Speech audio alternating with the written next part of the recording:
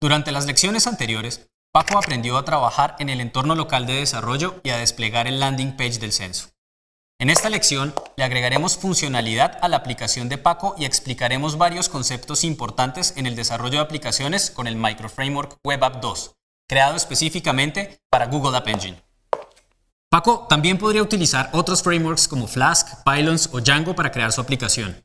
Dado que Web App 2 viene incluido con el SDK y es muy simple de comprender, lo utilizaremos como punto de partida para la aplicación del censo. Al utilizar un framework, Paco no solo se evita la implementación de muchos detalles de bajo nivel alrededor del procesamiento de solicitudes HTTP, sino que también adquiere una metodología para organizar el código fuente de la aplicación. Cuando creamos el landing page del censo, Paco incluyó en el archivo app.yaml varios handlers. El primero de ellos establece que todas las rutas que comienzan con assets se servirán como archivos estáticos desde la carpeta static. El segundo ocasiona que cualquier otra ruta entregue el archivo index.html. A fin de asignar el código de Python que debe ejecutarse para resolver cada uno de los escenarios propuestos en la aplicación del censo, Paco debe hacer una pequeña modificación. El index.html se servirá únicamente en la ruta slash. El resto de las rutas de la aplicación serán gestionadas por un script que construiremos con WebApp 2. El parámetro que pasamos a esta directiva representa el atributo app dentro del módulo main. A continuación, Paco crea el archivo main.py y define la aplicación WSGI encargada de atender las solicitudes. WSGI es simplemente un protocolo popular entre las aplicaciones CGI de Python, que hace que éstas puedan portarse fácilmente entre plataformas. El constructor de la aplicación WSGI recibe como parámetro una lista de instancias de objetos Web 2 Route. Estos objetos cumplen una función similar a los handlers del archivo app.yaml. Nos permiten definir el fragmento de código, normalmente una clase, que se encarga de implementar la lógica correcta para cada ruta en la aplicación. Por ejemplo, la primera ruta de Paco asigna la clase IdentityPage a la ruta slash identity. Llamaremos a este proceso enrutamiento. El parámetro adicional name le permite a Paco nombrar cada ruta. De esta forma, cuando sea necesario llamar un handler desde otro, Paco solo tendrá que usar este nombre y evitará incluir explícitamente rutas como slash identity, que con el tiempo tienden a cambiar. Podemos definir tantas rutas y clases handler como sea necesario. El objetivo es mantener la lógica de la aplicación tan clara y sencilla como sea posible y no asignar demasiadas responsabilidades a un solo request handler. Analizando los wireframes de la aplicación del censo, crearemos inicialmente tres request handlers.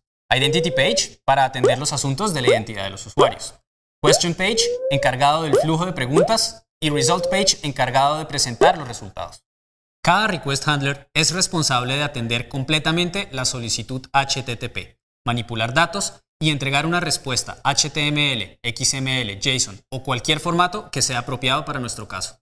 Con la configuración predeterminada, al momento de recibir una solicitud HTTP, WebApp 2 instanciará la clase definida en los parámetros de enrutamiento declarados previamente y dentro de dicha clase buscará un módulo con el nombre del verbo HTTP utilizado para realizar la solicitud. Recordemos que los verbos más comunes en las aplicaciones que sirven contenido HTML son get y post. Por esta razón, nuestro request handler debe implementar respectivamente los métodos IdentityPageGet y IdentityPagePost para atender correctamente las solicitudes. Para comprender mejor cómo funciona todo esto, Paco implementará una versión inicial de los métodos IdentityPageGet y IdentityPagePost. Esta implementación imprimirá el código HTML inicial de los formularios de la aplicación al recibir una solicitud GET y los datos enviados en dicho formulario al realizar una solicitud POST. En una lección siguiente aprenderemos cómo trabajar de forma ordenada con el código HTML. Por ahora, Paco lo guardará en una variable y lo entregará directamente en la respuesta al cliente. Esto lo hace utilizando la propiedad selfResponse, sobre la cual escribe el contenido de la variable. Sobre esta propiedad, Paco también podría cambiar otros atributos de la respuesta, como por ejemplo la codificación de caracteres o el tipo de contenido. Puesto que el valor predeterminado es text.html, en este caso no es necesario. WebApp 2 también nos facilita el acceso a los datos enviados en la solicitud. Acceder a estos parámetros es tan fácil como acceder al atributo selfRequestGet en el caso de las solicitudes GET y a selfRequestPost para las solicitudes POST, o simplemente selfRequestParams que combina las variables GET y POST.